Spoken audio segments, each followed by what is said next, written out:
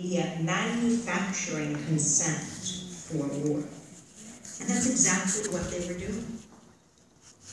Beating the drums for war. It's astounding that half the population was opposed to war, given who was highlighted in the media. How do you learn about the rest of the world? You learn about it either because you know someone who comes from somewhere else, or most likely you learn it through the media. And you've got to learn it through something other than a corporate lens.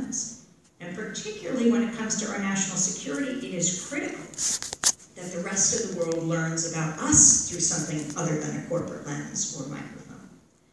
Because I really do think that those who care about war and peace, those who are concerned about the growing disparity in this country between rich and poor, those who care about climate change, the fate of the planet, those who are deeply concerned about racial justice, the gunning down of young black men in Ferguson, and I wish we weren't talking in a singular sense, but how often this happens. There was a study last year, over one person a day gunned down by police in this country.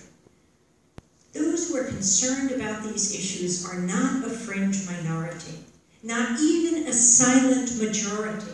But the silenced majority, silenced by the corporate media, which is why we have to take.